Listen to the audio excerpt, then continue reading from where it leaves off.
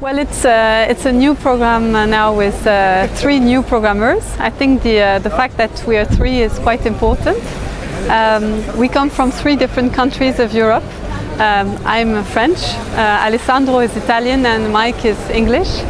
And um, we select films from the best festivals around the world um, in a very unique way, saying that uh, we three have different backgrounds, uh, in addition to three different nationalities. Uh, Mike is a journalist, Alessandro and I come from international sales and festivals.